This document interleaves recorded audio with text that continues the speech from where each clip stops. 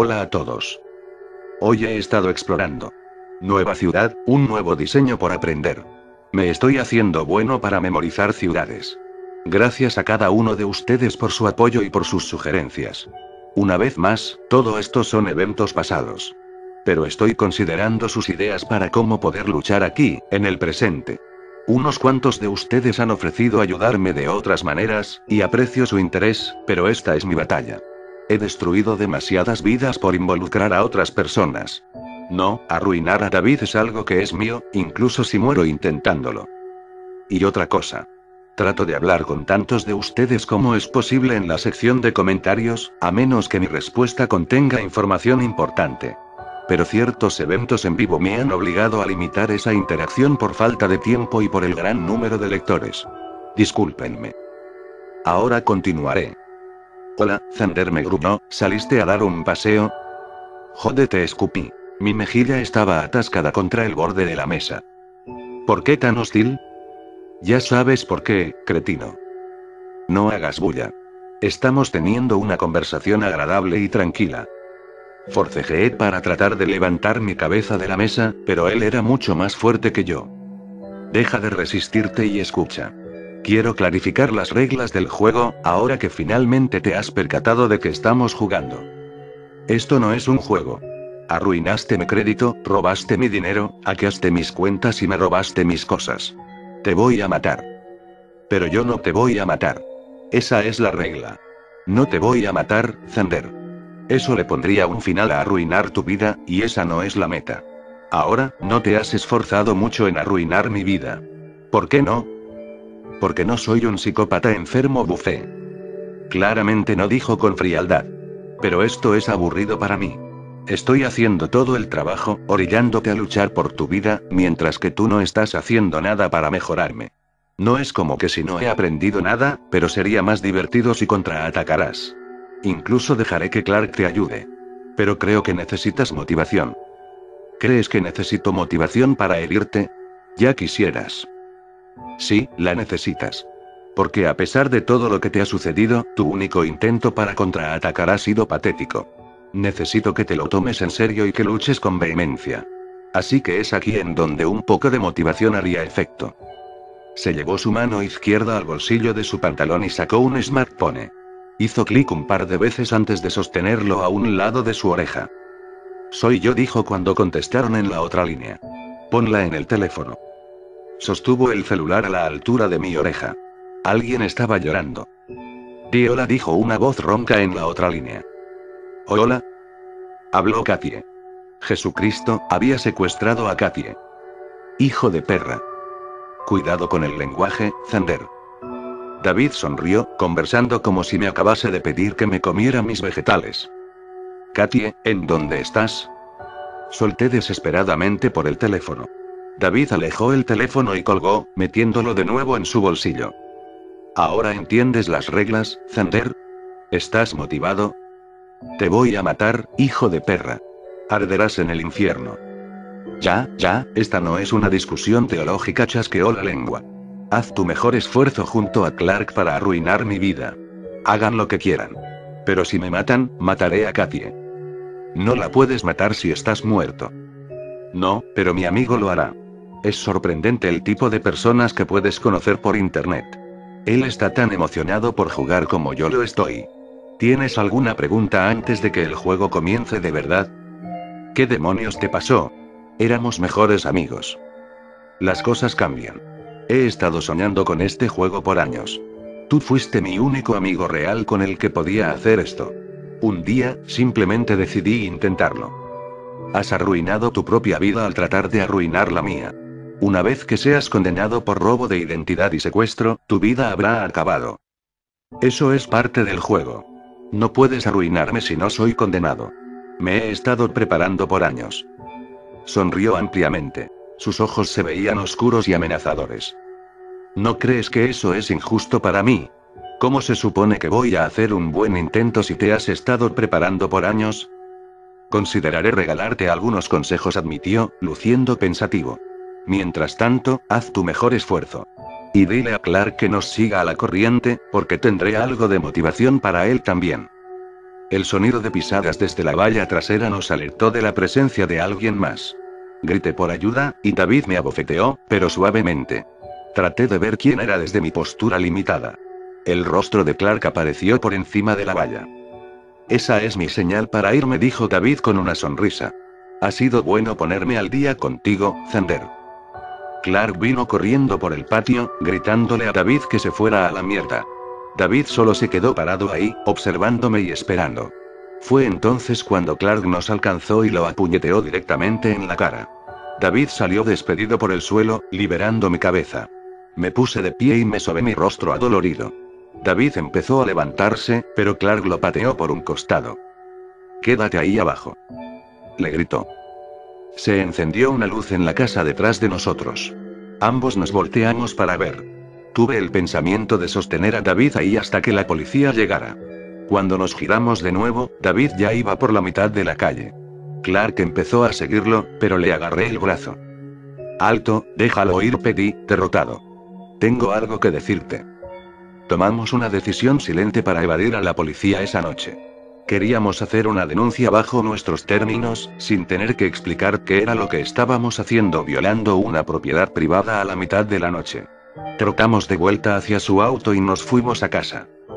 Nos sentamos en el sofá de la sala de estar y le dije a Clark acerca de las intenciones de David. Clark estaba observándome, perplejo. Pensé que dijiste que solía ser un amigo. Lo era. ¿Y nunca actuó así antes? No, conmigo no. Esto es una locura, dijo, parándose del sofá, ha secuestrado a Katie solo para tratar de arruinar tu vida y darle continuidad a un reto estúpido. ¿Está demente? Lo van a atrapar. Esperemos que sí. Pero deberíamos comenzar a planear. No me voy a arriesgar mientras tiene a Katie. Está bien, hombre. No quiero tener nada que ver con todo esto, pero también quiero ayudarte. Si fuera cualquier otra persona, me iría a tomar por culo. Entonces comencemos. No sé cuánto detalle quiero poner aquí, porque probablemente se hará cansado para ustedes. Nos quedamos despiertos toda la noche mapeando eventos, personas, debilidades, fortalezas. Todo en lo que podíamos pensar. Llenamos media libreta con nuestras anotaciones. Estas fueron las debilidades que pudimos pensar, las cuales podríamos utilizar potencialmente en contra de David. Cansancio con la vida, para que pudiéramos hacer el juego demasiado aburrido como para que lo siguiera. Su mamá, pues si ella supiera lo que estaba sucediendo, quizás sería capaz de detenerlo. Sé que algunos de ustedes comentaron que debería secuestrar a Doña K y utilizarla, pero aún éramos bastante nuevos en esto, ni teníamos deseo alguno de recurrir a la mierda en la que David se estaba apoyando. Podíamos hacer que lo despidieran y asegurarnos de que nadie lo contratara de nuevo. Katie. Dado que había secuestrado a Katie, la policía definitivamente estaría involucrada. Fácilmente podría reportar mis sospechas acerca de David, y lo estarían inspeccionando en búsqueda de las piezas de evidencia más diminutas. Si podíamos conseguir evidencia contundente para lograr una condena en cualquiera de sus crímenes, el problema se resolvería. Luego consideramos sus fortalezas y las cosas de las que debíamos cuidarnos. Preparación. Obviamente tenía una línea de tiempo que estaba siguiendo y sabía lo que estaba haciendo. Tiempo. El correo basura y los incidentes del fraude de crédito habían comenzado mucho antes de que yo sintiera las consecuencias. Esto significaba que podía haber otras trampas que David había preparado, que explotarían como bombas de tiempo en algún punto del futuro. Aptitud física. Estaba claro por esa noche que había pasado ejercitándose y practicando. Posiblemente para su trabajo como guardia de seguridad. Dinero. Ahora tenía mucho dinero por lo que me había robado a mí y el fraude que utilizó para recibirlo. Contactos. Si había hecho un amigo que estaba dispuesto a involucrarse en un secuestro, entonces había dos o quizá más psicópatas de los que debíamos preocuparnos. Conocimiento. Sabía cómo utilizar el fraude sin ser capturado aún y hackear computadoras, o, al menos, contratar a alguien para que lo hiciera por él. No teníamos idea de qué otro conocimiento peligroso podría tener, así que hicimos una lista de las cosas que podría saber, y lo que nosotros debíamos saber para contrarrestarlo. No las enlistaré acá porque fue bastante larga. Disposición a romper la ley. Estaba claro que la ley no era parte de las reglas del juego para él. O no tenía miedo de ser capturado, o tenía la certeza de que nunca sucedería. Después de que analizamos a David, nos estudiamos a nosotros mismos. Primero, nuestras debilidades. Conocimiento. No teníamos, ni por cerca, la amplitud de conocimiento que David tenía. No solo conocimiento acerca de cosas como arreglar una tubería, sino también conocimiento acerca de David, quiénes eran sus amigos, en dónde trabajaba, con quién hablaba. Tendríamos que comenzar a aprender como locos para tratar de estar informados. Dinero. Ya no me quedaba dinero.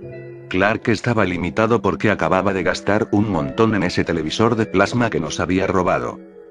David sabía en dónde vivíamos.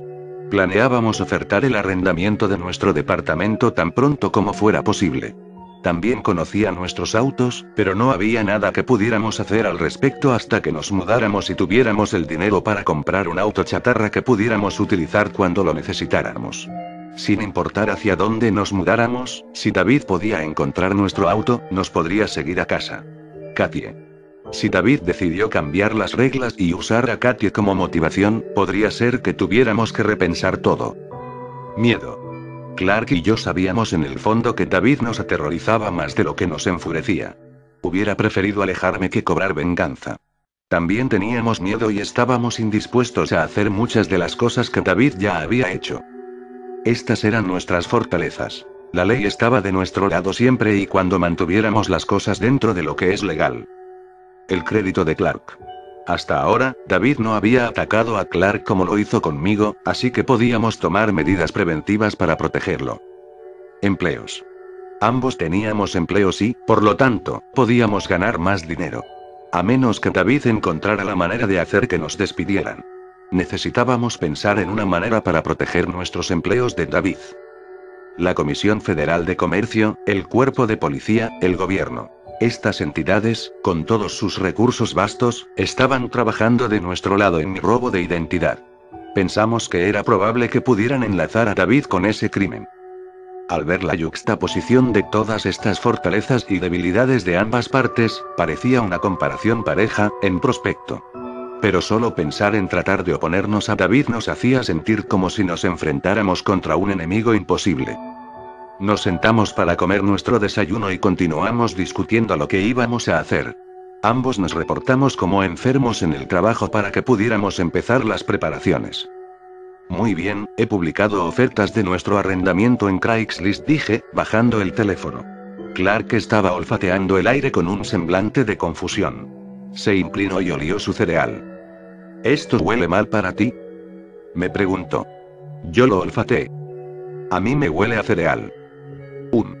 A mí me huele mal. Vertió el cereal en el lavado. Clark se sacó su teléfono para llamar a Equifax, haciéndoles saber que quería congelar su crédito por 90 días. Cuando esos 90 días hubiesen culminado, llamaría de nuevo y de nuevo hasta que este asunto fuera resuelto, con tal de proteger su crédito. Aún teníamos acceso a su tarjeta de crédito con un límite de 3.000 dólares, pero no se le podía aplicar crédito nuevo. Luego pasó a cada cuenta que tenía por internet y cambió cada contraseña por caracteres aleatorios. Se registró en un gestor de contraseñas por internet y puso sus contraseñas ahí, las cuales fueron guardadas como archivos encriptados. Si esta compañía era hackeada, el hacker podría craquear los archivos con tiempo, claro, pero era lo mejor que podíamos hacer. La única cuenta que no puso en el gestor de contraseñas fue la información de su cuenta de banco. Escribió la mitad de su usuario en un trozo pequeño de papel y la otra mitad en un segundo papel. Hizo lo mismo con su contraseña. Los escondió en lugares seguros alrededor de la ciudad. Sabía que tenía que ser en algún lugar en el que las personas no los tocaran por meses y en el que no fueran dañados por irrigadoras o lluvia. No sé en dónde los escondió, pero me aseguró que estaban a salvo. Seríamos una causa perdida si David obtenía acceso a la información bancaria de Clark. Mientras hacía eso, terminé nuestros inventarios para entregárselos a la policía. Una vez que la estación había abierto, condujimos a ir y esperamos pacientemente en la estación a que nos atendieran. Cuando nos llamaron, tomamos asiento y le contamos al oficial acerca del robo y de la entrega del inventario que teníamos pendiente. Tenemos un sospechoso, dije finalmente. Muy bien. ¿Quién? Su nombre es David King. Solía ser un amigo mío, pero ya no lo sigue siendo. ¿Qué sucedió? inquirió, escribiendo el nombre. Recientemente, me robaron mi identidad. Sospecho que él está detrás de eso. Si robó mi identidad, es probable que se metiera a mi casa también. Me odia. Bien, pero ¿qué pasó exactamente para que dejaran de ser amigos? Vacilé. No sabía cómo explicar la situación. Si alguien puede pensar en una mejor manera para explicárselo a un policía, háganmelo saber. Tuvimos una pelea grave y amenazó con arruinar mi vida. ¿Cuándo fue esta pelea? Hace más o menos un año. ¿Y crees que te robó tu identidad e irrumpió en tu hogar hasta ahora? Clarificó el policía incrédulamente, ¿tú eras amigo de él? Preguntó, gesticulando hacia Clark. No, soy su compañero de piso, contestó Clark, señalándome. Bien, muchachos, el oficial suspiró, echándose hacia adelante. Gracias por el consejo y por sus inventarios. Vamos a investigar esto como cualquier otro crimen, y haremos nuestro mejor esfuerzo. Pueden darme copias de sus licencias de conducir y números de teléfono para que pueda contactarlos si tengo preguntas. Le entregamos nuestras licencias y escribió nuestros números en un archivo. Ya regreso, dijo, llevándose nuestras licencias para hacer copias. Nos vimos el uno al otro por un momento, tomando un respiro hondo. No nos cree, dije, resignado. Encontraremos evidencia, me alentó. Habían pasado cinco minutos. Luego diez. Entonces el oficial regresó con otros dos oficiales a sus costados. ¿Clark Ulises? Preguntó, ¿sí? Replicó Clark, confundido. Estás bajo arresto por vandalismo y por violar propiedad privada. Ambos oficiales lo flaquearon y lo pusieron de pie. Yo observé a los policías, desconcertado, y los ojos de Clark se ampliaron. Cuando iba a fotocopiar sus licencias, explicó el policía, sosteniéndolas frente a nosotros, revisé sus antecedentes. Anoche, alguien hizo una denuncia de que tú habías ido a su hogar y pintaste ladrón en su casa, y que luego lo atacaste cuando salió para detenerte. Quedé boquiabierto. Hijo de puta. David King, a quien acaban de recomendar como sospechoso, fue quien lo reportó. A mí me parece que estás tratando de desacreditarlo antes de que él te reportara. Supongo que te ganó. Léele sus derechos, le ordenó a otro de los oficiales. Esperen, dije, parándome. Un momento, yo también estaba ahí, no solo fue él. Clark me negó con su cabeza muy ligeramente. No. No iba a dejar que asumiera la culpa por esto. Kine explícitamente declaró que solo hubo un vándalo, y que vio al señor Ulises escabullirse por la casa y rociarla por su propia cuenta. Sé que estás tratando de proteger a tu amigo, pero no juegues con tu vida, niño. Uno de los oficiales le comenzó a leer a Clark sus derechos Miranda en tanto lo esposaban, y lo escoltaron hacia la puerta que conducía al procesamiento de delincuentes. Llama a mi mamá para la fianza. Saldré dentro de poco. Gritó Clark por encima de su hombro, no lo dejes ganar.